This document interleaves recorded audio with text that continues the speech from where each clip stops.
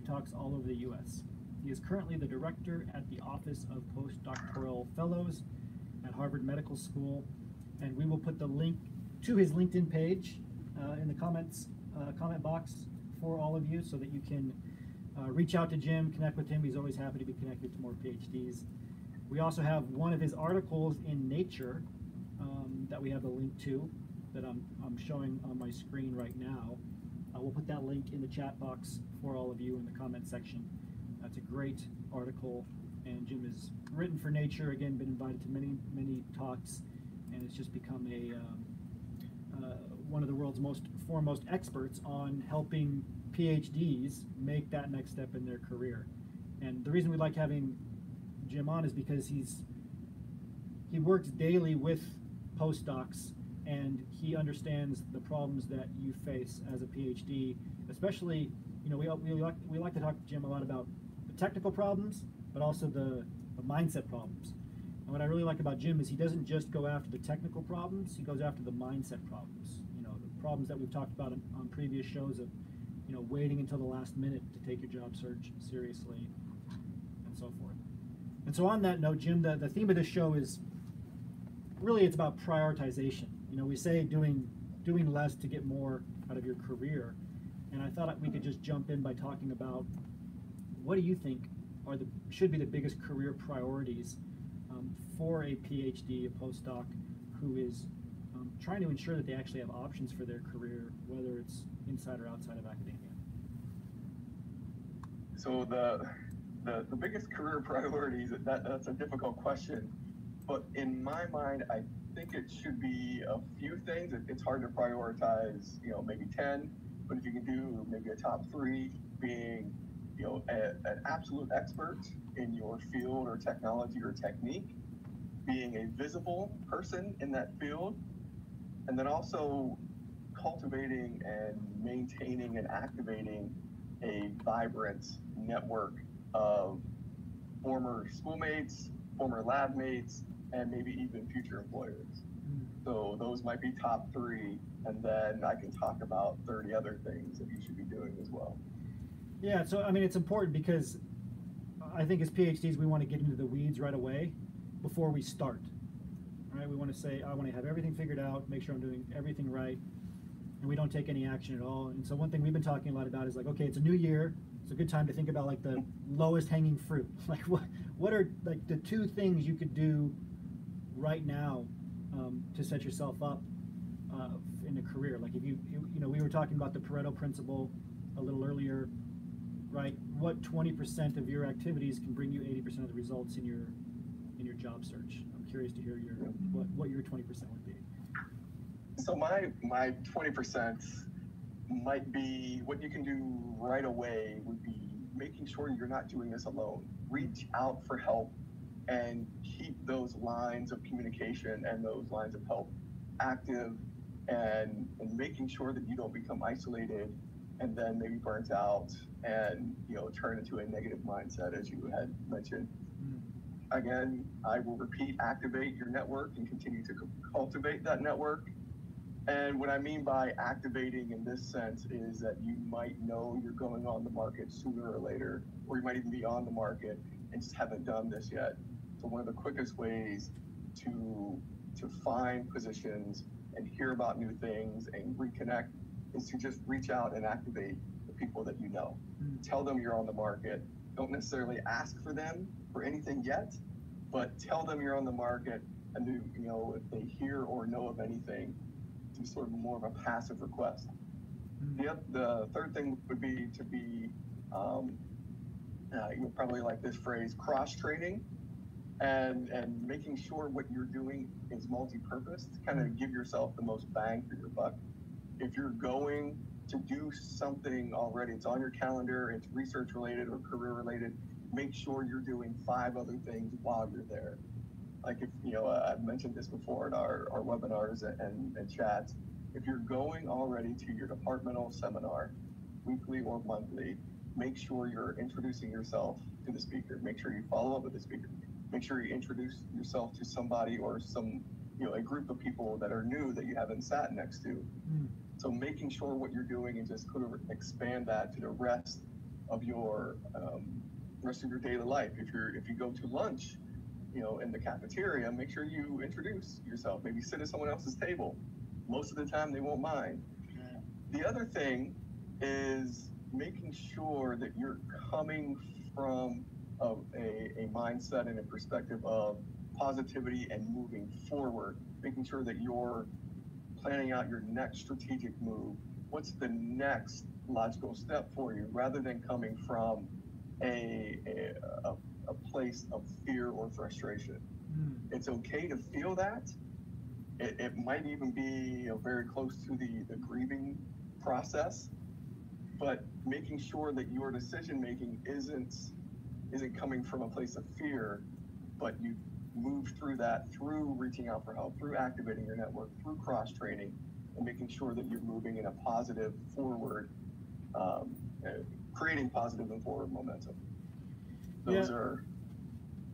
No, I love that. So just to recap, so ask was the first one. So ask for help, and I think that's right there uh, eliminates what most PhDs think to do first because we're just like, well, I'm just going to read about it. Like I've spent my entire career being told to learn myself, but one of the best ways to learn is just to ask people who know and to talk and, and not do it all yeah. in your head through reading. Um, I like that. The alert that this is something that's come up a lot is actually alert people that you're looking for a job. And I wanted to uh, dive a little bit deeper there just for just for a minute because there seems to be like this line you want to walk between not asking people to help you get a job right away and telling them that you're on the market. Very different, right? How would you draw that distinction? So the the way I would do it is making sure your first outreach or your first outreach in six months or a year or two years isn't to send them your CV or resume and say, hey, could you shop this around for me?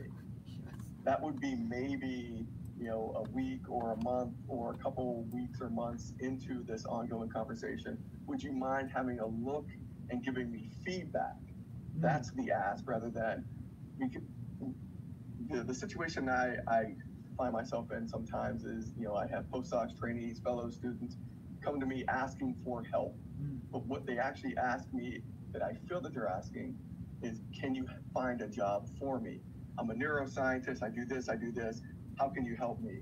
It's mm. and that's not my job to find you a job. My job is to help you through this process so you can then do it in two, five, and ten years when you're looking for another job because that's the rest of your career. Mm. If you do it right this time, you, you may not be as, you know, find yourself in a black box the next few times you do it. So yeah. the distinction is not not asking for a job, but asking for guidance and appeal to their their wisdom having already been in that situation. That's fantastic. Yeah, and I think what we underestimate is that people want to give you they don't want to do the work for you. Nobody wants to go over and help you move your house, right? But they would love to give you their advice on what they did to move their house, right? They would love to tell yep. you all day long about their opinions, their advice, everything. And I think this is the biggest uh, one of the biggest priorities that a lot of us don't even think about. Just ask people their advice, their opinion, they appeal to their mentorship side, which is easy to do when you've been a student your whole life or you've been in academia your whole life because you're not seen as a threat, right? You're not seen as like someone looking for their their job because you're not in the job. It's you have a much more, I would say, innocent. Um, you come off as much more innocent. And I, I like what you said too about kind of converging your efforts. Everything that you do, you know, you want to wear multiple hats with we're so used to being very focused on academia and the next paper and this stuff, but a lot of the stuff you're doing right now, it's very transferable to a, a variety of career types. But you, you, may not know that because you haven't thought about it from that lens. So I think that was great advice too. Um, so what do you, what do you spend most of your time doing? I'm very curious here. I mean, I because I used to not know. I, I obviously know more now, but I think it's very helpful to hear about. You know, you're you're doing this day in and day out, helping very driven, you know, uh, PhDs and postdocs in an area that's in the top four worldwide from the last report that I saw in terms of PhDs in a location, just in the specific Longwood area. Yeah. And there's Cambridge, everything. I mean, Boston overall by far is number one. So I'm just curious, you know, what have you, like in this past year, even six months, what kind of trends are you seeing? What are you spending a lot of your time explaining? What are the new buzzwords? uh, I, I, I hope I'm fairly well connected with this community, but it, it's been almost the same uh, cycling since I've been here in 2011. Uh, being able to create and deliver career and professional development programs in the last year, as you asked, uh, I, uh, my office and myself have created and delivered 160 workshops Whoa. for as many as five 5,000 postdocs in, in the Longwood area. Um, I advise and implement and uh, advocate for fair and reasonable policies uh, at HMS and Harvard. And probably the most interesting and boots on the ground uh, thing that I do, as you allude to, is I coach and advise trainees one on one.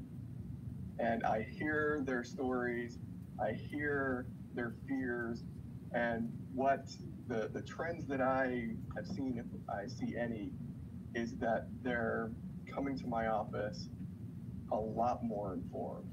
They're coming to my office a lot more positive than they have been before, understanding that there have been changes in trends in and even faculty development that faculty now understand that all careers are worthwhile, not just academic careers.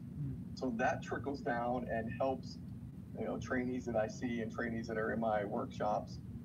That helps them sort of uh, take that risk, you know, the being risk averse and actually be able to have a, a conversation that is worthwhile with their faculty mentor, with other mentors, their network, as well as coming to my office and reaching out for help. The biggest problem that I, I encounter, and it's still fairly common, is, and I, have talked to, to, you about this before, is they don't know what they don't know. Yes. So they all, almost always start their job search backwards. They begin by applying to jobs rather than begin by activating a network, by pulling together their resources, by reading, by asking um, and, refining their application materials and asking for critique, and then going out and being much more targeted and strategic. They Mm. usually start backwards and start by applying and worry about job offers rolling in, which isn't the process, as you as you come to know. So what what is the process? in terms of just sequence, because I think sequence is where a lot of people get stuck, like you said. Like it's, and I was I was the same way. I thought, okay, I just started blanket applying to every job, Yep. and I evaluate my worth on how many responses I get, which are none.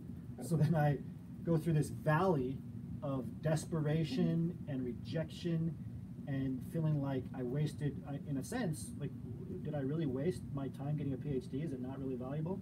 And you have to come out of that. So what what's the sequence you would suggest given your expertise instead? So that's exactly what I used to do, and you know, uh, it, it's my job that I I feel that it's my job to help people not commit the same mistakes I've committed, and knowing that you've done it, knowing that I've done it, hopefully takes away any stigma for those listening. That that's what you do when you don't know what to do. So the the sequence is if you have the time, and if there's a timeline, I would say would say you give yourself at least a year when you know you're on the job market or going to be on the job market. You know, the longer the better, but probably a year. The first thing is do a, a fairly in-depth self-reflection. What do I like to do? What am I good at? What are my values? And begin to think, who do I know that shares these things? Who can I reach out to? What resources do I have institutionally in the lab, you know, in my at my alma mater? Because you, if you're a postdoc, you have at least two alma maters. You know, your undergrad, your graduate. You might even have a, a going to medical school, so that's three. So you have all of these resources that are just within your grasp.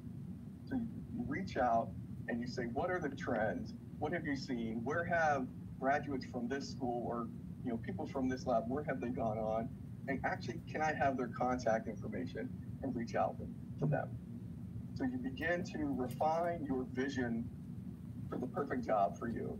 It may not be the first one out of postdoc or grad school, but it, hopefully within you know two or three jumps, you are very close.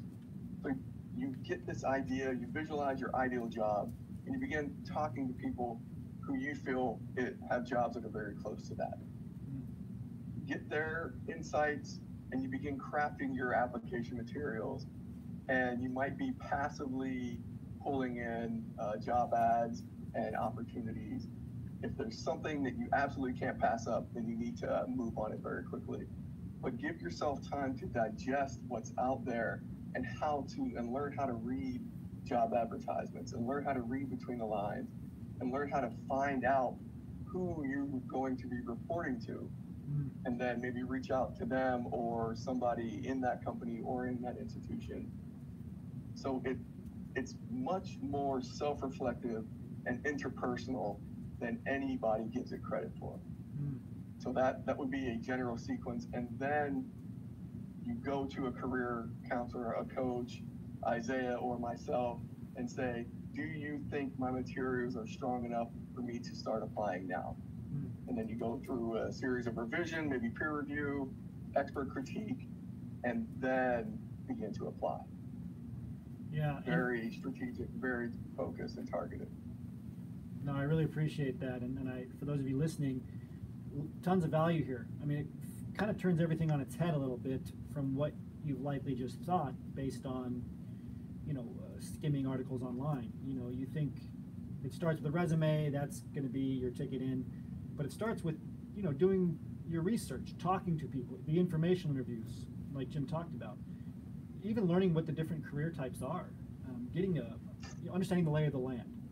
And there might be part of this where you need to get your professional profiles done to a certain level first, because as you start talking to people, they're going to go to your LinkedIn profile. They might ask for your resume, um, but you you know you can get it to that 80% first, and then after you have these interviews and you do your research, like Jim said, can take it the rest of the way based on the career tracks you want to go into.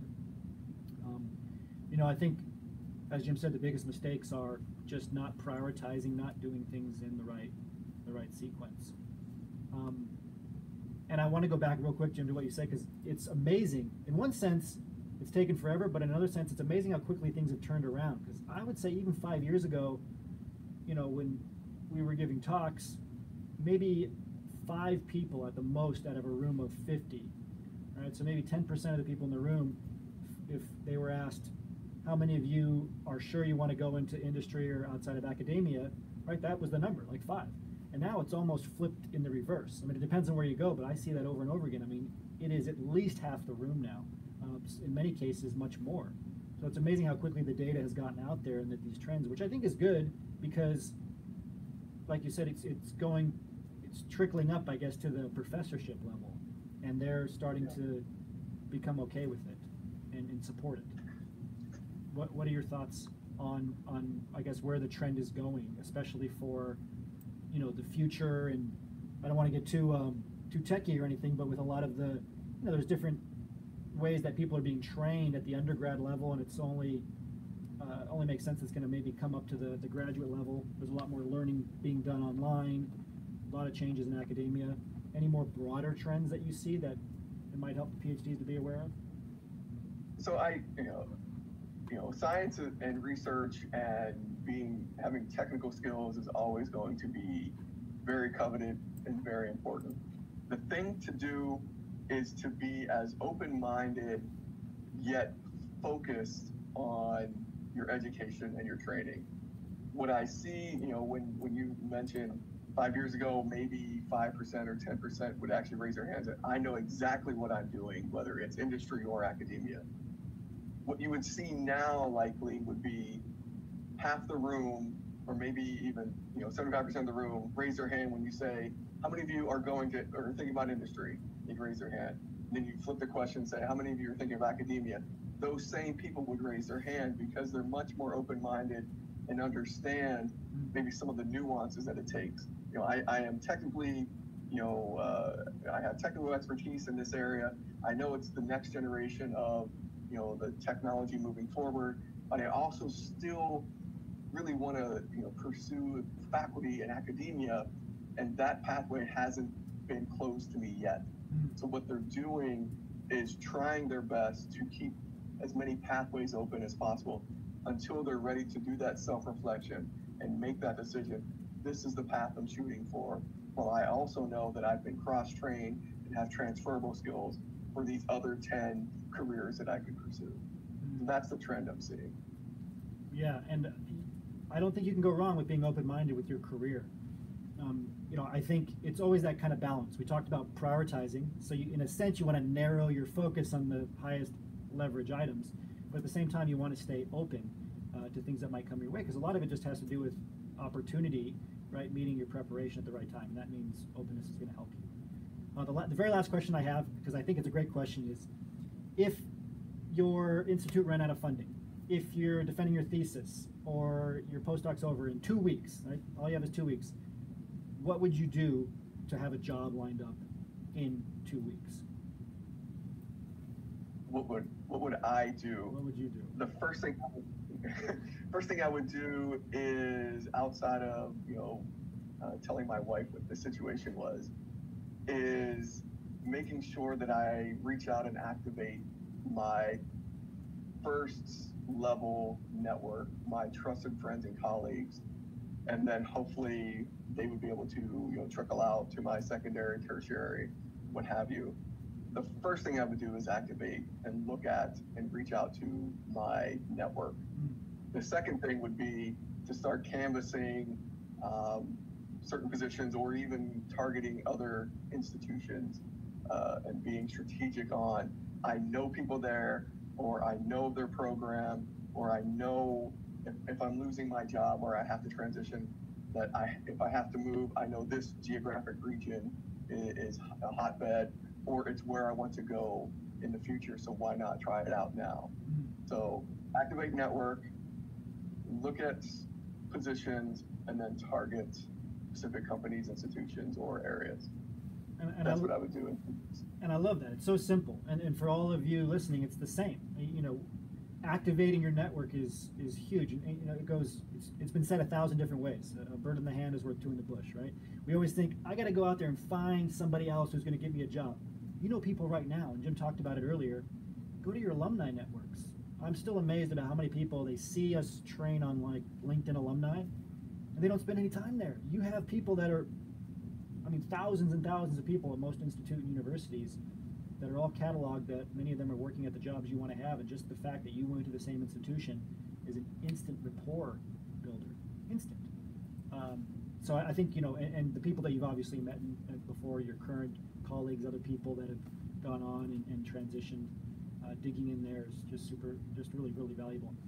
And then uh, you know, surveying where the opportunities are. This stuff shifts.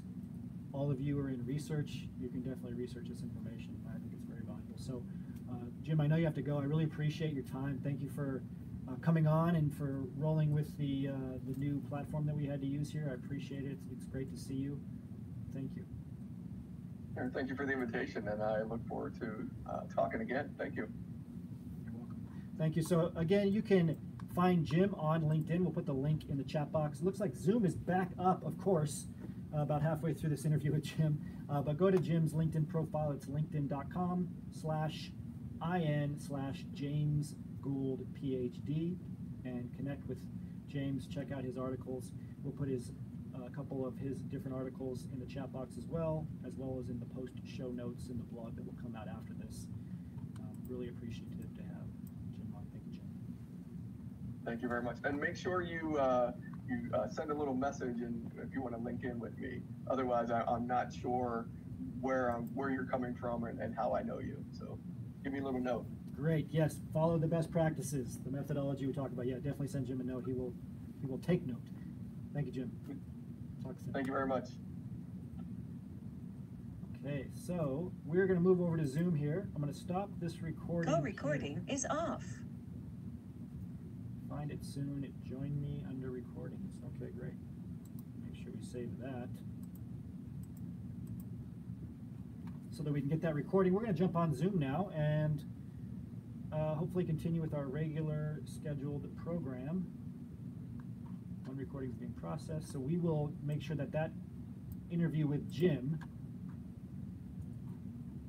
make sure that interview with Jim is uh, downloaded and edited, and we'll put it into your dashboard. We're to try to get through a couple of other sections, hopefully to show me the data, hopefully the other interview that we have. I'm going to close this, and we'll get on Zoom. I don't think we'll have time to stream Zoom live, so we'll probably just do it internally, and then we'll splice together the interview with Jim and Zoom so that uh, it seems like everything worked fine unless you were here the whole time. But thank you all for staying on. We're going to jump over to Zoom now. I'm going to log in. I'll see what Mary's saying. If Kyle is available, we might have missed Kyle, but we can jump into the show me the data section certainly. And looks like we're already on here. So I just need a, I think I can just join as a attendee. That's what I'll try to do. And Lisa should be able to make me host and we'll start. For those of you joining us on YouTube, hello, hope you enjoyed that. We're going to jump in here to a couple of other, our other sections today. We had a little bit of a late start because Zoom was down, but we managed to get a great interview with Jim, who is the postdoctoral,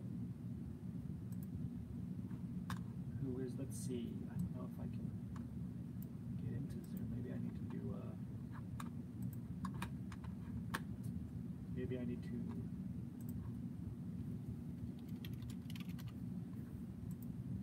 sign out and then sign back in. Let's try this one more time.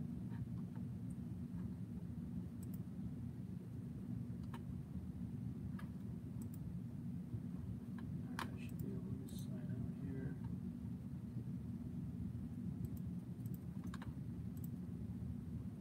And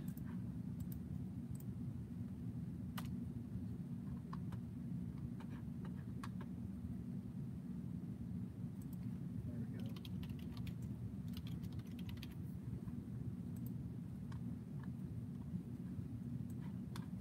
All right, I'm in.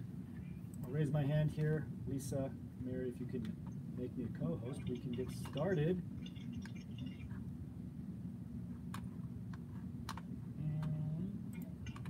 All right, I'm in.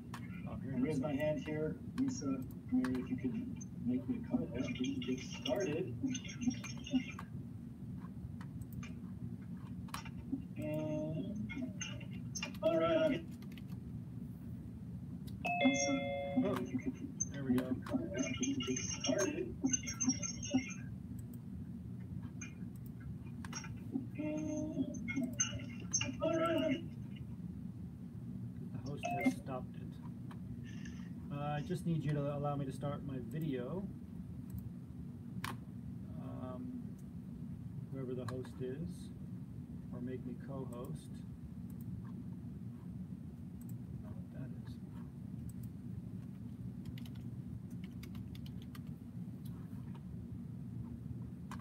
All right, I just need you to make me co-host whoever is on here. It won't let me start the video. There we go. We did it. Thank you, Lisa, Mary Jeanette. Piece of cake. All right, we have 10 minutes. I'm just kidding. We'll probably go through 20 minutes. So we'll go through the, the as much of the show as we can here. What we're going to do is I'm going to um, I'm going to start the live stream. Actually, we're recording this, so I think I'll just I'll start the live stream. We'll go through the show me the data, and then we'll switch over to the members uh, only section. And Mary Jeanette, we will just crop together those two interviews once I get the recording from Join Me, and we can post that to the public page. But for those of you that are joining us here, great to see you on. Thank you for helping us um, get through the long delay. We will uh, set up a couple of contingency plans, including Join Me, and we'll make sure those go out in emails moving forward just in case Zoom happens to be down again. Never been down like that before. Pretty amazing. But thanks for being on, Brent, Amit, Christine, Daria. Thank you, Gulshan, Mara, Perez. Good to see you on. Regina, Semen, you, Zia. Great to see you on. Welcome to another Cheeky Scientist radio show. I am your host, Isaiah Hankel with Cheeky Scientist. We have a great show lined up today, all about optimizing your job search uh, by doing less, not more. And what this means is, is prioritizing effectively. I want to show you a page for a special webinar we have coming up tomorrow. So on January 10th, January 10th, we are doing a very special updated 2019 webinar on industry resumes. The full title is 12 Resume Secrets from Top Recruiters and Hiring Managers. This is for PhDs only. If you go to cheekyscientist.com slash PhD dash industry dash resume, you can join up for this webinar. Make sure you do it now though, because we, as of this morning, we had over 1,300 people signed up already. That is a lot. Why do so many people sign up? Because they know that we have the most up-to-date information, data-backed information on what your resume needs to have in it to get hired into a job in 2019. So we'll put this link in the chat box again for those of you listening by audio cheekyscientist.com slash phd dash industry dash resume. I do also want to mention a brand new article we have that you can read for free on our blog. If you go to cheekyscientist.com slash blog, you can find all of our all of our articles.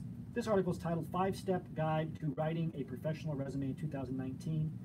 If you're listening by audio, it's cheekyscientist.com slash guide to writing a professional resume with a dash in between each one of those words after the slash. That'll take you directly to the article.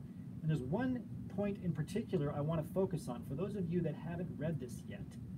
Point four is about leveraging the fact that people read in an F pattern. So studies show, there's lots of eye tracking studies on resumes. Yes, people are very interested in this because hiring managers, recruiters spend very little time on resumes, five to seven seconds total, which means they must be skimming resumes. This is why the format of your resume matters. This is what we're going to cover in tomorrow's special webinar, which is at 1 p.m. and 9 p.m. Eastern Standard Time, again on January 10th, 1 p.m. and 9 p.m. Eastern Standard Time. You do have to sign up to attend. But this F pattern helps you understand why formatting is important and how to set up the format of your resume. So essentially what it means is that when somebody starts skimming your resume, they read the first line across the top right? So the, the top 130 of your resume is called the visual center. Within this visual center, the two bars that go across from left to right of the letter F is how their eyes track. The first one goes all the way across. That's the longer bar, the top bar of the F. And then they, then they skim down a little bit further, and then they go from left to right, but not quite as far. Both of these F bars happen in that visual center in, if you're doing your resume correctly, what's called the, the professional summary. Okay, that's why that first bullet point is crucial. Your first bullet point of your professional summary needs to be as specific as possible with the exact words that the company is using for a key transferable skill, a key technical skill, and a quantified result. What they're looking for the most has to be in that first bullet point because that's likely the only one they're going to read all the way through. Okay? Then the other two bullet points will be skimmed in that second bar of the F, and then they're just going to skim down the left-hand side of your resume. They're not going to re even really read anything in your work experience section, you might as well just assume that. They might dig in if they're very interested, but in that first pass, they're just going to skim down the, the left side final bar of the F that goes vertically. They're just going to skim down. That means that everything next to every bullet point on the leftmost side of your page is what they're going to see. And what that means is, is that if you're putting in academic job titles, you're doing yourself a disservice. You don't need to put in an academic job title as the bolded word at the top of every work experience. Instead, we advocate using a rel relevancy resume where you say project management experience, right? And then underneath it, you can say experience gained as a graduate research uh, assistant at the University of XYZ. Okay, make sure that you're bolding and uh, formatting your resume correctly for the relevant information that they care about. They don't care about your academic job titles, your job duties, they just care about results and the key transferable and technical skills that you've gained. And we're going to talk all about this on tomorrow's resume webinar. I do want to mention this article from Nature Biotechnology. It's, the title is The Impact of Postdoctoral Training on Early Careers in Biomedicine. We're going to talk about this article specifically. In short, I'll tell you what it shows. It shows that postdoc experience does not help you in your career, it actually hurts you. And before we go any more into this, I'm going to bring Jeanette on for our Show Me the Data section. So we'll see if we can bring Jeanette on here with us. Hello, Jeanette. How are you? Good. How are you? Good to see you. No hiccups today at all. So that's good. Um, we're, we're ready to jump into the Show Me the Data section. Great to have you on. So we've been talking a lot about this Pareto principle. We talked about this with Jim, the 80-20 principle, where 20% of your efforts can get you 80% of your, your results. So I want to start here with this first article that you have, the impact of postdoctoral training on early careers in biomedicine. Why do we care so much about this? Let's start with that. Why do we care about whether or not a postdoc helps? Is it something we hear about a lot or not really? Uh, well, it's really important to talk about because in academia, when you're a PhD student, the general vibe you get is that the next thing you should do is a postdoc, right? This is how your career is going to progress. This is what is going to get you what you want, Right. right? And this article and just talking about this idea in general is really important in realizing that that actually isn't true, right? That you're being told something that's wrong. Exactly. And so let's jump into this first figure. And for those of you listening by audio, um, the figure is showing on the y-axis number of people, x-axis year of PhD awarded, all the way from 1980 to 2010. Um, and then on the, the far uh, right axis, I guess this would be a, the, the z-axis, um, although it's not 3D, is percentage. And what we're looking at is a purple line, a red line, and a blue line. Purple line shows PhD starting, uh, starting a postdoc in terms of percentage. Blue line shows number of people awarded a PhD, and the red line shows number of PhDs in a po- in, in postdocs. And this is a again a Nature Biotechnology article. So what we see is the red line, the blue line going up, which makes sense. The number of PhDs in postdocs has increased dramatically. Number of people awarded a PhD has increased dramatically. If you know if you know anything Cheeky Scientist talks about, you've probably heard that trend before. But this purple yeah, line, like, give the numbers, right? So Yeah. in 1980, it's like about 3,000 people were awarded a PhD, and it says in 2010, it's 7,000. and the percentage though is what's amazing. So it went from like five percent to eighty. Well, so this percentage, I am, if I'm reading the figure Yes. correctly, only corresponds to the purple line. Ah, okay, got it. So the percentage Yeah. is the purple line. And Yeah. so then we go from 3,000 to 7,000 in terms of numbers of PhDs rewarded. Yeah. And then, I mean, 2,500 to, what is it, about 5,000 for number Yeah. of PhDs and postdocs. And this is just in, in this sample that they're looking at, correct? Correct. Because obviously there is at least 10, 20 fold that. I mean, Yeah, these people were in biomedicine, so they've got a pretty specific niche that they've decided to focus on. Yeah. Right. So just in the U.S., for those of you wondering, there's at least in terms of those who have been uh, documented through surveys, 70, 80, 90,000 postdocs just in the U.S. Um, okay, so we're looking at this sample. Now we scroll down. This is possibly my currently my favorite figure that exists today that has to do with PhDs in their job because it's very important. I can't tell you how many times I've had people just, you know, really dig their heels in, and it creates emotional response, which is understanding. Um, when the, you know, when we talk about a postdoc not helping your career, like doing more of a postdoc is the best way to say it. So the caveat here I always like to say is, look, if you've done if you've done a postdoc, there's nothing wrong with you. You can we can help you leverage that experience to uh, further your career. Like you can you can we can help you talk about it. If you focus on the right things, it can be used as an asset. But the earlier that you get out of your postdoc, the better. That's really the key here. And so we're looking at a, uh, a figure here with four charts.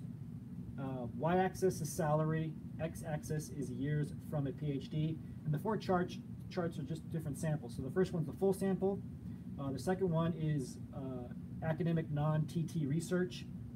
Third one is industry, and fourth one is government nonprofit. And we see a red line for those who did not do a postdoc, and a blue line for those who did a postdoc. It's so simple.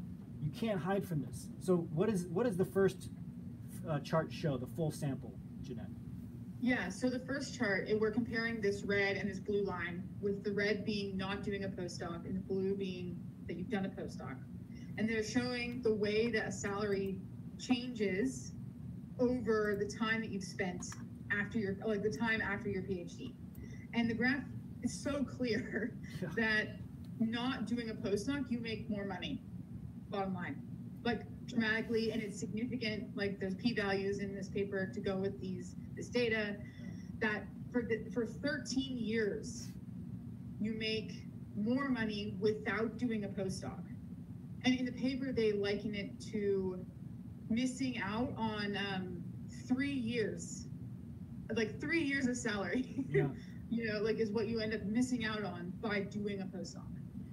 Yeah. So, and and here's the key takeaway, and it's it's actually if you go to if you take away the margin of error, all the way to 15 years, you still do not catch up to someone who did not do a postdoc in your salary. So doing a postdoc hurts your salary, hurts your career trajectory, the end. Now, and the longer you wait, the more it's going to hurt because you're just getting that later start on the huge gap that occurs in the beginning. So the gap between the two is much more in that first year, okay, with the no postdoc to a postdoc. Over time, about 20 years, which is in some cases an entire career, uh, you might catch up, but the data doesn't even show it catching up. That's what's amazing. And it's if you look at the different sample size, it's especially true in industry, right? So in the third figure, there's no catching up.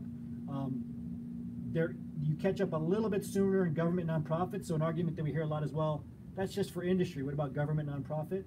What is it, Gina? It's still 10 years, 11 years before Yeah. you catch up? Yeah, I think, I think it was nine, yeah, nine or ten years. With- Still the significant difference. The statistical significant, right, exactly. yeah, yeah. yeah. And uh, even in academic non-TT, so that's just um, like a, you're in academia, but not a professorship, correct? This is what's crazy to me. Yeah. That figure right there was Yeah. really it struck me. Like, even in an academic institution where they're telling you that your postdoc is super valuable and this is what you're supposed to do, they're paying people without a postdoc more money.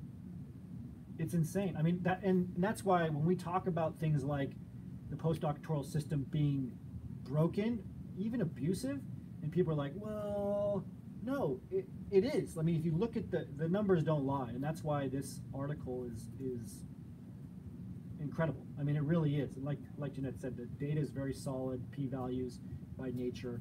You can't argue it. And, and it's funny because at first I was like, the academic non-TT, I'm not really concerned with that figure. And and like Jeanette said, that's actually the most important one in academia. You're you're still behind by eight nine years in terms of statistics before you'll even catch up to somebody who didn't do a postdoc. The only reason for staying in a postdoc is because you don't want to take on the hard work of an actual job search. And the only reason that's on your end, and the only reason for staying in a postdoc in terms of the universities or keeping the system around is because it's inexpensive labor. That's it. And and, and that's the conclusion here. So how does this relate to the 80-20 principle? Jeanette, Jeanette and I were talking about this earlier. What what's the what's the link here? Yeah, I think the link is that by doing a PhD, you've done the most important 20% of the work that you need to do in academia. Yes. Right? You don't need to go on and do six, ten more years of work in academia, that 80%. Yes. You already have reached your peak. There's no need to keep going. So that's the 80 20 principle, right? Focus on that 20% that matters the most. Exactly, exactly. And and just to clarify, I, I like this figure. This is from an article titled "The 80-20 Principle: The Secret of Achieving More with Less." For those of you that haven't heard of this principle, we have some very basic shapes to show you. So can you walk us through? We're looking at a triangle and a circle and a rectangle. And it's the first with the triangle, it's causes versus consequences. circles effort versus results. And the third is inputs versus outputs. So just in general, what is this showing, Jeanette? Yeah, it's just showing that with those causes, efforts, and inputs, it's 20% of what you do in those categories that get you 80% of your results. Yes. And I think I know, like, as a PhD, as someone who like really values each of the items that I'm doing, right? All of the work I'm doing is important. Right? So this can be difficult to internalize and realize that no, it, doesn't. it's really only a small percentage, 20% of what you're doing Hmm. that is getting you most of your results. And this is this is throughout your life and your career, and this is why prioritization is so important. Prioritization, sequence. As PhDs, this is something that we are not good at. I was not good at it because, actually, I remember when I first got to uh, graduate school, and I was a little bit intimidated. Um, we had uh, we had courses. My first two years, we actually had courses we had to go to, and I was intimidated. They gave we had like textbooks, everything. And I was like, okay, I'm going to read everything in the textbook, even though this is not something I did like in undergrad, anything like you focus on what they talk about in the lectures, etc. I was like, I'm going to read everything, the little sidebars, all this stuff. Of course, I couldn't even stay keep up with the lectures and everything I was doing in the lab to do this, and it was a complete waste of time. And I bombed my first couple of tests. And it just goes to show that we're doing this already, but you need to do it more. Right? If you go, if you have a course, you don't try to read the entire textbook. At least you know all of it won't be tested on. So instead, you try to focus on the highest priority stuff, which is indicated by what the lecturer says. Same thing in your job search. There's those highest priority items you want to spend most of your time on because it's going to have most of the output, most of the results, most of the consequences. Um, let's turn to a chart. We can move on from basic shapes and colors now. Uh, so this is this is an article titled "Understanding the Pareto Principle, the 80-20 Rule."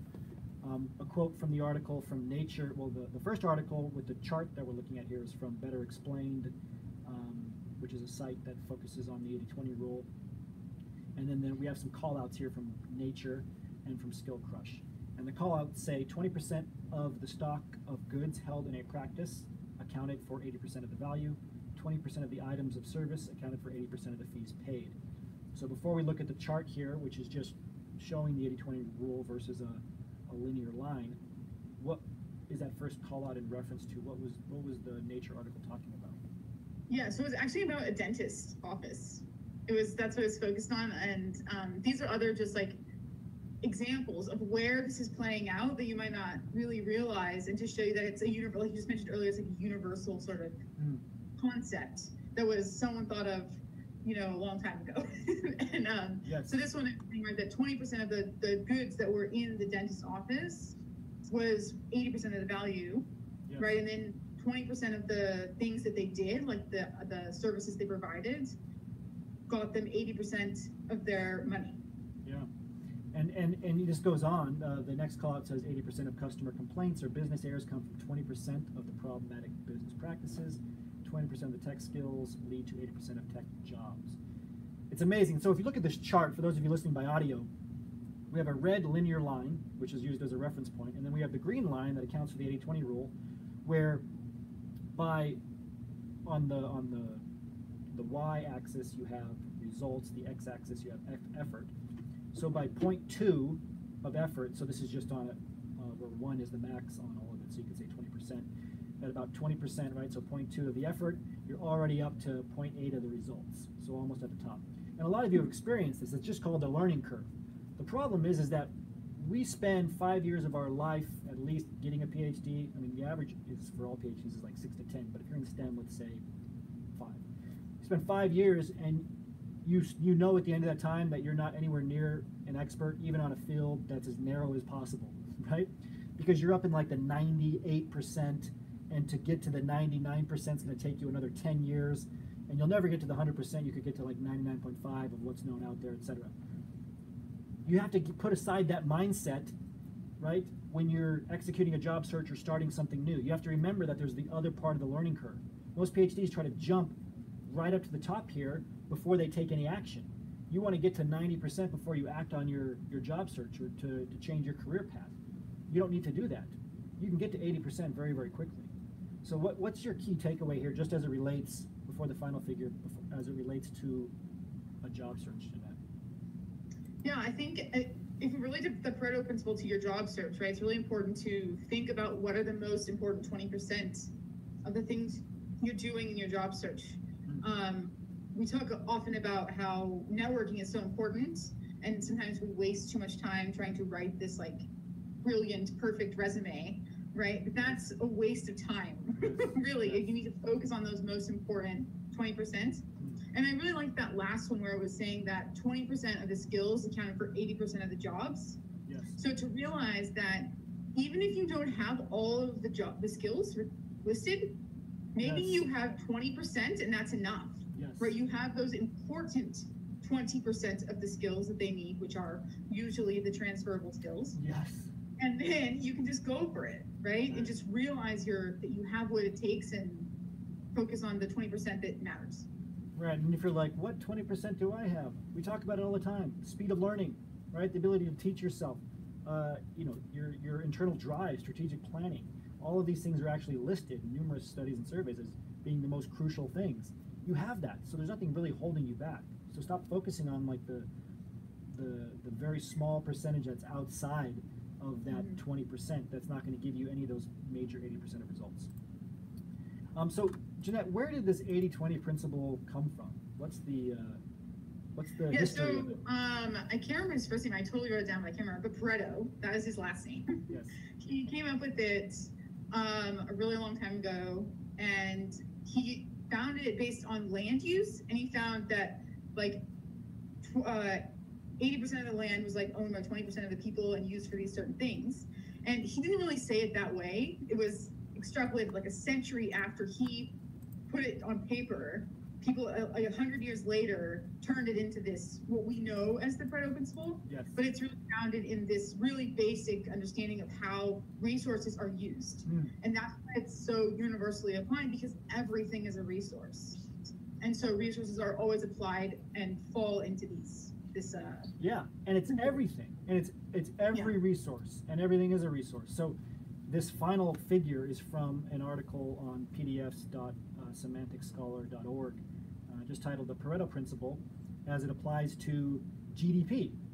And what you see is in the, the countries with the, the richest 20% of the countries have 91.62% of of the GDP, like total, like the worldwide GDP, right? And then like all the rest are less than 9%. It's pretty astounding, but we hear about like this is a macroeconomic topic that we hear about in the news all the time. For those of you that are in scientist MBA, you, you, you've learned this and, and you understand what this means. But resourcing, right? It's, it's a verb also. Resourcing is something that's crucial in business and, and, and your job search and in every aspect of your life. So perfect. Jeanette, any final thoughts on the GDP? Was this surprising to you? Um, I mean, no, not really. I mean, because I live in the world and sort of know what's happening around me, but it is it's books. interesting to down and to, to think about the extrapolation. And I think that, especially, right, we like these sort of intellectual discussions. And so take that thought into your brain and see where it is in your own life and in your job search and where can you make the most of this principle? Yeah. Where can you focus your efforts? Agreed. And for those of you listening by audio, so the last figure we're just looking at on the, the y-axis of percentile all the way to 100%. Uh, x-axis we have the richest 20%, second 20%, third 20%, fourth, and then poorest. And again, 91.60, 91.62% of the GDP is in the top 20%. And if you look, they draw a curve with this cumulative percentage uh, average here, a, a red line curve, and it almost exactly mimics, right, the, the Pareto principle curve up here in green, which is amazing. So no matter what the resources are, uh, the Pareto principle applies. So when it comes to your resources, your efforts day in and day out in your job search, focus on those uh, most impactful, high leverage items like Jim talked about. And, and there's a reason, just in the, the cheeky scientist methodology, that we have the module structured the way that they're structured. You get your professional profiles done to a certain level, like that 20% level that's going to give you 80% of the results, so that when you're out networking, which is really one of those items that's going to give you most of the results, setting up informational interviews, etc. If they ask you for those professional profiles, you have them done to a professional enough level to keep moving forward. All right, So all of the little things that you're likely worried about are are not maybe not irrelevant, but they matter so little that you're actually holding yourself back because you're putting so many resources toward it. So focus on the things that, that matter the most, that have the highest impact, and, and use the 80-20 principle as your guide. So thank you, Jeanette. Please thank Jeanette for coming on with us. Great to see you. Okay, we're going to move forward here, and uh, we're going to jump in to our interview with James Gould. I'm doing that as a segue because we're gonna we're gonna cut this video to edit in the James Gould interview here. Um, for those of you that are on with us still, thank you for staying on. We are going to jump to the members only section here. So I'm going to do a closing here, and then we'll stay on and do a LinkedIn review, and we'll cover the the transitions together. So thank you all for those of you watching us on uh, any of our public social media pages or platforms. Uh, wherever you're watching us, remember that you can join us for our free resume webinar tomorrow. Uh, this is January 10th, Thursday, January 10th at 1 p.m. Uh, and 9 p.m. Eastern Standard Time. Uh, I will mention the link one more time here. Uh, it is our resume webinar, special resume webinar. We will focus on getting your resume ready for 2019. The full title is 12 Resume Secrets from Top Recruiters and Hiring Managers for PhDs Only. So we have over 1,300 people signed up already as of this morning. Make sure you're going to this webpage that I'm showing you here. And if you're listening by audio, it's cheekyscientist.com slash PhD dash industry dash resume. Sign up today. So thank you all for watching the public portion of the radio show. We will see you next Wednesday with another live radio show starting at 1 p.m. Eastern Standard Time. And again, make sure you sign up and show up for the resume webinar tomorrow. Thanks, everyone. Okay. So I'm gonna stop the recording here. Oh no, I gotta keep the recording going, right, for the, for the dashboard. Mary, are you there? How are you? I'm great. How are you? We did it. We pulled this together. So for those of you watching here, thanks for staying on. All of you here in Zoom, thank you. So we're just going to go through two final things here. We're going to go through the transition stories. Uh, we will announce a swag winner, and then we'll do a quick uh, LinkedIn review for everyone here. Um, so while I have Marianne, I'm going to show the transition list. So many transitions that we haven't discussed yet. I want to say say thank you to Mary for collating all of these transitions together. We also have a Cheeky of the Week and a Moderator of the Month. So congratulations, first of all, to Ajish Sharian, uh, who transitioned into a senior scientist role. Uh, congratulations to Superna, who transitioned into an associate in project management role. Congratulations to Mari, who's in the Medical Science Liaison Alliance program that we offer. She transitioned into a consultant project manager role. Congratulations to Christupas, transitioned into a optical design engineer role. Congratulations to Ryan, a magnetism specialist. I would like to see what that job does. Uh, it's in an R&D position, so congratulations. Uh, Bib Hudata, who's also in our Medical Science Liaison Alliance program, transitioned into a clinical trial, trial coordinator role. Well done. I don't think he had clinical uh, experience either. Um, common misconception, you don't need clinical experience to get into those clinical careers. Congratulations to Anna, who transitioned into a senior innovation consultant role. Congratulations to Victory, who transitioned into an MSL role. Again, not a surprise, Victory is in the Medical Science Liaison Alliance as well. Congratulations to Eugene, who transitioned into a researcher role. Navnita, who transitioned into a scientist role. Asif, who is now an associate engineer. Antine, who is now a senior scientist. And yes, we're still going. Uh, Jialing, or Jialing, I think it is, uh, transitioned into an engineer role. Congratulations. Shilpa transitioned into an environmental scientist role. Orly is now a senior project manager. Is this the third page? It seems like, wow, this is amazing. Uh, Kurthana transitioned into a scientific manager role. Well done. Uh, Heino uh, transitioned into a application scientist role. He's part of the scientist MBA program. Well done, Heino. Uh, Petro transitioned into a senior research scientist role. Shadra transitioned into a scientist role. Uh, so Shadra is in the scientist MBA program as well. Brent transitioned into a medical device analyst role. Stefania is now a senior scientist, which makes sense uh, because Stefania is in our R&D Society program. Temi transitioned into an MSL2 role. Well done. Sharath transitioned into a senior scientist role. And Beth transitioned into a regulatory affairs management role. Well done. Wow. So many transitions. We knew we knew hiring was going to be up at the end of the year and at the beginning of this year. This is good news for you. Make sure you congratulate everybody on that list. Tell them well done in their transition stories. Uh, reach out to them on LinkedIn. Be polite. Don't ask for something right away, but just tell them congratulations. Um, they've earned it, and you will be next. Our cheeky of the week. Who is it, Mary? Richard Liang. Richard, congratulations. Thank you for giving so much to the group. We really appreciate it. Please do us a favor and tell Richard congratulations. This post is marked as an announcement in the private group. We really appreciate those of you who go above and beyond um, to add value in the group. Thanks for setting such a great example. And a very special thanks, we only do this once a, mo- once a month, to our moderator of the month, Sonali Pandey. Congratulations, Sonali. Uh, if you've seen this, this is quite an honor. Please tell her thank you. She has given so much value back to the group after transitioning and really detailed value. And sh- her professionalism has been, it's just a very special thing. This is something, again, that we uh, um, hand out very rarely to those who just transition and then give back. So thank you for giving back, Sonali. We really appreciate it. Please connect with Sonali on LinkedIn and tell her congratulations in the group, too. Okay. Last but not least, besides our swag announcement, special thanks to Karen for uh, allowing us to go through her LinkedIn profile here. Um, Karen has done a great job on her LinkedIn profile. She's at that 80%. We're just going to try to bump it up a little bit to 90%. Uh, the first thing that I noticed here, Mary, was really, really professional headshot. Um, I like that she has at least targeted her headline to start, and she's gotten the, the basics down here in terms of her summary, etc. In terms of this visual center here, just everything we can see when we first open LinkedIn, what are some of the extra things she might be able to do to, to increase her visibility?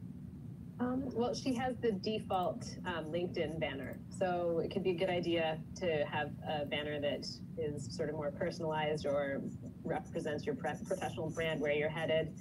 Um, you could add some text to it. You could, um, this is something you really, um, it's an opportunity to work on and it can make a big difference. Mm.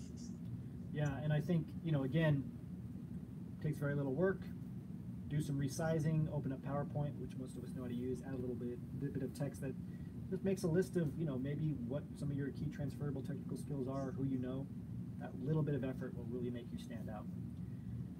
Um, scientist, agronomy, entomology, plant pathology. This is great, but I would try to focus more on the technical skills, the transferable skills that you're seeing on job postings.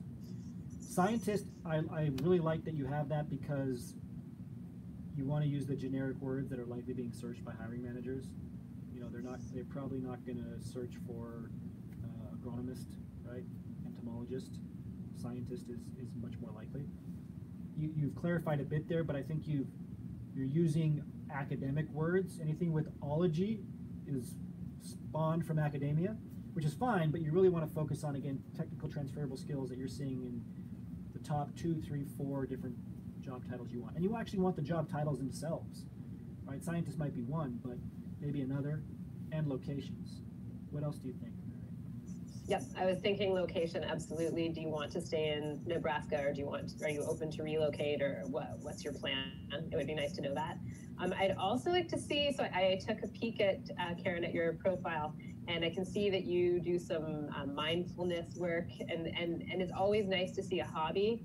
Um, so a little bit more so we can learn about you as a person. Yeah, I agree. Um, that's something great that I think a lot of people can identify with. And if meditation might seem a little bit too um, specific, something like mindfulness would work. And it's kind of a trending thing. It's not too personal. It would be perfect to add onto your uh, profile. I really And- like. And it's a great skill that that would be an, a value add to you professionally, right? So it kind of goes both ways. Um, if you're mindful at work, you're probably performing better too. Yes. I don't know what this link is to. Um, it looks like it's broken though. It might just be broken on my end, but you, you might want to check that. And this usually happens when LinkedIn changes something in their algorithm. You just have to re-add the link again. Um, but having a broken link, just one of those things that unfortunately can come across as unprofessional or like it's not it's not updated, right? Uh, so make sure you change that. I do like that you talk right at the beginning that you're results oriented. However, where are the results? So if you're going to say results oriented, that's great. But remember that professional summary, it's good to talk about. I think you can tell a narrative here, hopefully a future facing narrative, but you definitely want to have your results. Can can you refresh your screen because I'm seeing a different profile? She she update? updated it. Are you updating this right now, Karen? From an hour ago? That's hilarious. Well, let's see. You got rid of the link. That's good. Um, no, no, that's totally fine. So I think, yeah, she's, she might be updating it right now, which is awesome. Uh, still have result, results oriented, which I like, but I would just make sure um, that you're actually putting in the results. And, you know, I would make sure you have somebody else read it just for grammar purposes. And again, we're, we're just pointing this out to help um, enjoy teamwork's efforts. Not quite correct grammar, um, right? Enjoys working with the team. You might want to check out some of the data we talked about recently, where adding uh, team, you know, uh, teamwork at all to a resume or a profile reduces your chances of getting an interview. It, there's always these, there's buzzwords that kind of ebb and flow that will help you um, get, get an interview, and there's buzzwords that become overused, such as enthusiastic, teamwork, that can actually hurt you.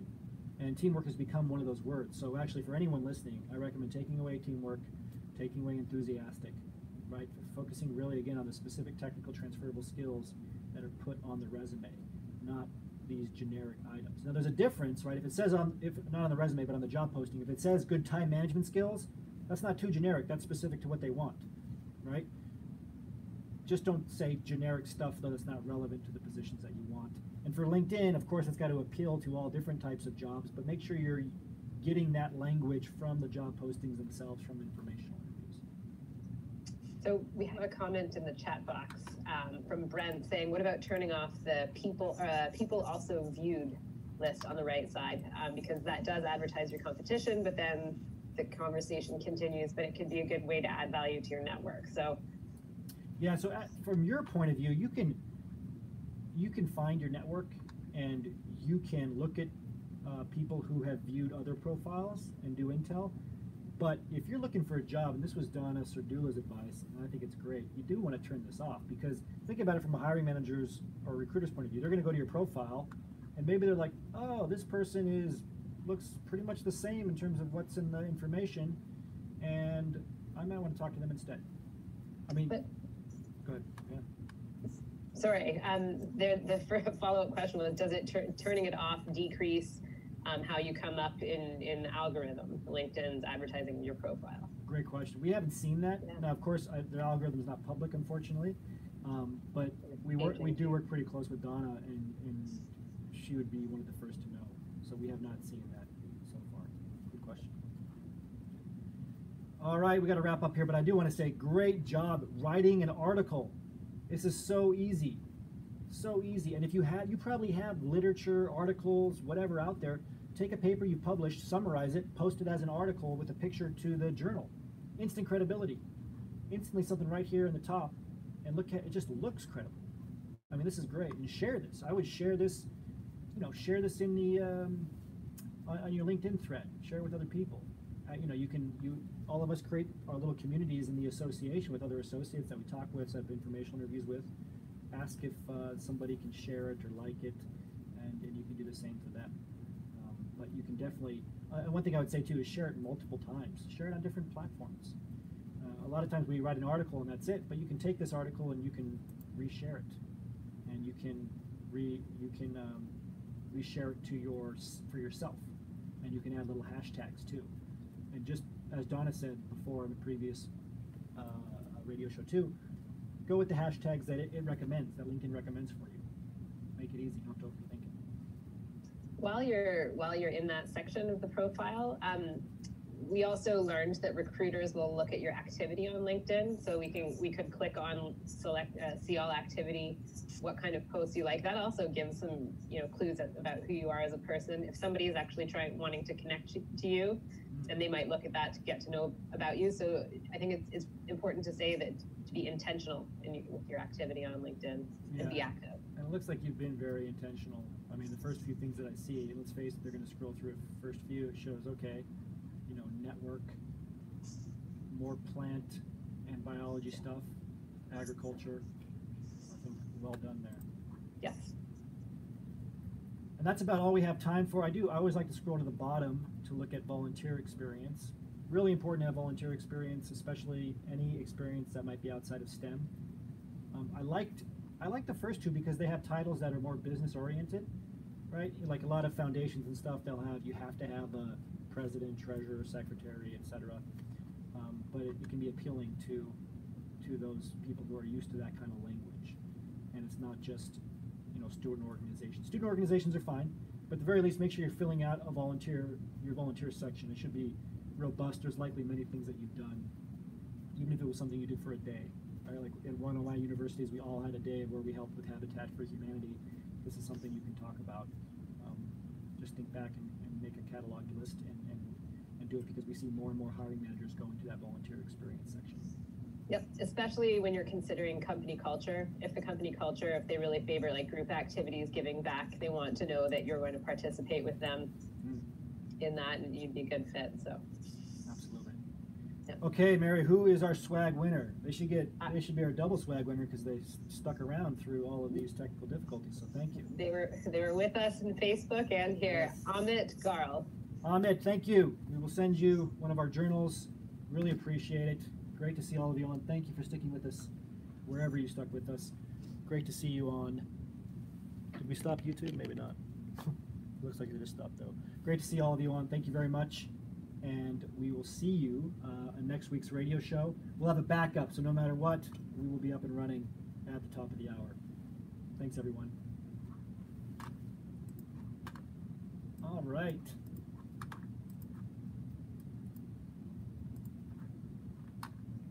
That was easy. A special thanks to uh, Mary and Lisa, who did a lot of troubleshooting uh, to help us be able to get on Jim and to be able to get through the major points of our radio show.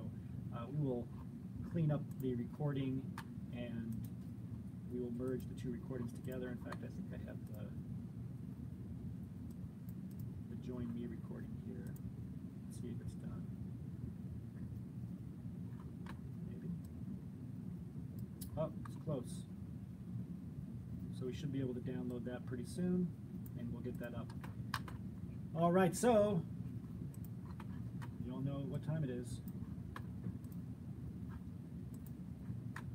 What time is it? What do we do at the end here?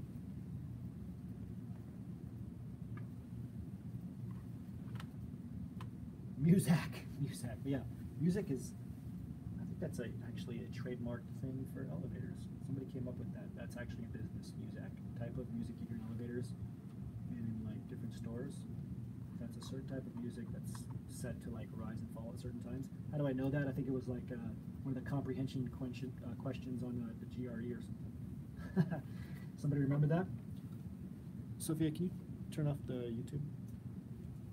I think it might have froze, but if you're watching us, thank you on YouTube for watching. We will see you on the next radio show. Okay, who wants to hear it? Let's see what songs.